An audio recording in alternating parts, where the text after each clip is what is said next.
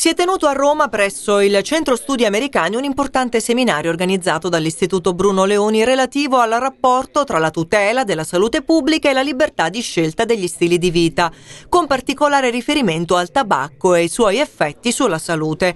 La riduzione del danno e una maggiore tutela della salute devono rappresentare una priorità per tutti i governi, ne è convinto il senatore Marco Scurria. Dove non c'è evidenza scientifica, evidentemente parliamo di, di cose che magari fantasiose però anche qui l'aspetto fondamentale è capire quali sono le finalità dei provvedimenti e quindi l'evidenza scientifica, il punto di partenza, il punto di arrivo deve essere sempre quello della salute, ma anche della considerazione di chi lavora e chi produce in questo settore. Un appuntamento di grande rilievo scientifico ed istituzionale in vista della prossima conferenza delle parti del Trattato internazionale per il controllo del tabacco, che si svolgerà a Panama il prossimo novembre, che vedrà la partecipazione di 180 paesi, tra cui l'Italia, e che traccerà le direttive sulle politiche di controllo del tabacco. I dati dell'Organizzazione Mondiale della Sanità mostrano che la Svezia ha la più bassa incidenza di cancro ai polmoni nell'Unione Europea. Questo grazie a, a, alle politiche del governo svedese che hanno raggiunto, eh, senza politiche proibizioniste,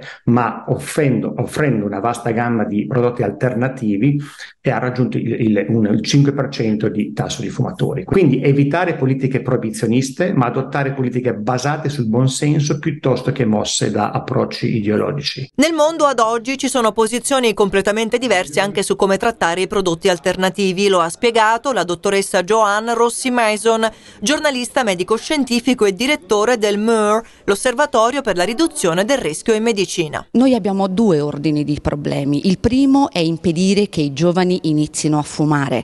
Il secondo è aiutare le persone che vogliono smettere. Come MUR, come osservatorio sulla riduzione del rischio in medicina, noi siamo molto attenti allo sviluppo di quelli che sono i prodotti alternativi al tabacco, che è vero che contengono nicotina e che quindi in qualche modo mantengono la dipendenza del fumo fumatore, ma che hanno mostrato ampi profili nella capacità di aiutare le persone a andare via, a smettere con il fumo combusto. Oggi siamo qui per discutere le politiche e confrontarci con quelle che sono le politiche dei vari paesi e in particolare per fare un appello sia alla Svezia che alla Gran Bretagna che con le loro buone pratiche hanno raggiunto degli ottimi risultati in termini di controllo del tabagismo e della cessazione. Ogni anno 7 milioni di persone perdono la vita per malattie correlate al fumo. Il tabagismo è un problema complesso e multifattoriale che per essere risolto necessita di molte competenze.